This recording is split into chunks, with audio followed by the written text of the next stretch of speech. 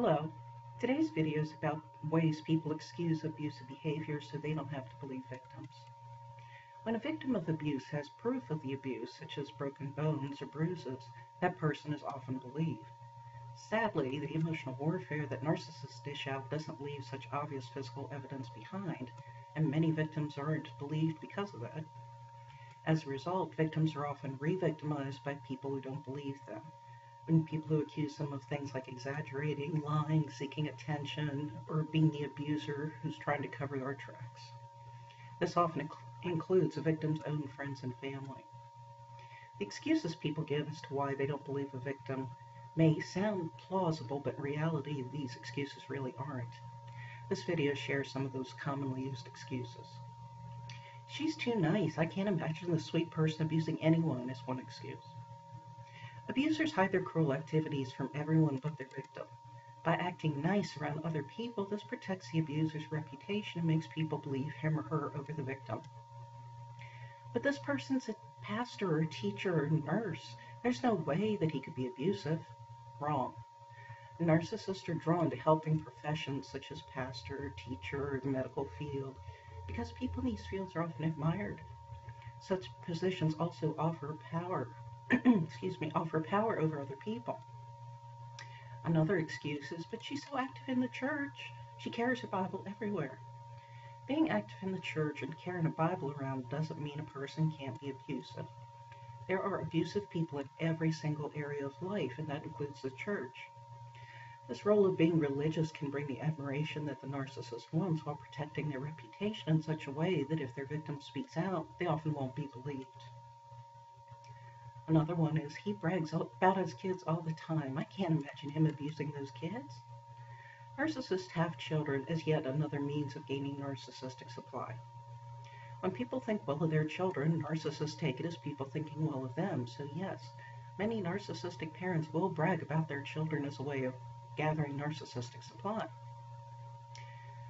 But she's your mother. Mothers always love their children and would never hurt them.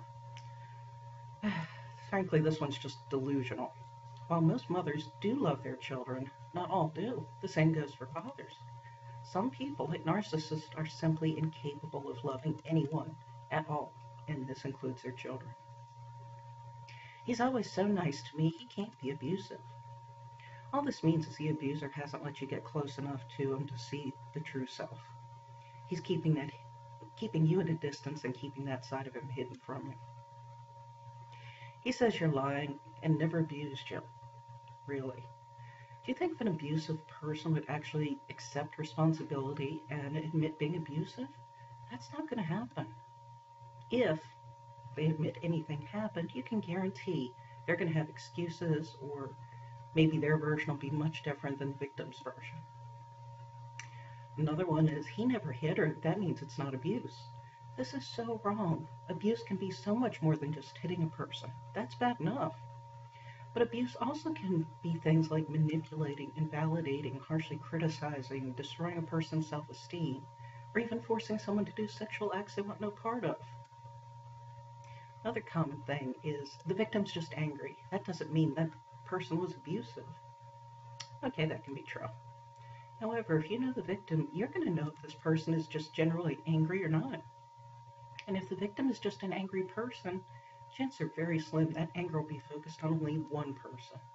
He or she would pretty much be angry with just everybody. They weren't a good match, is another comment.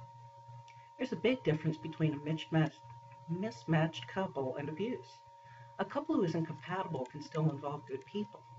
Abusers aren't good people. Another one is they were just toxic for each other. This does happen and if this is the case, both parties involved will admit their shortcomings.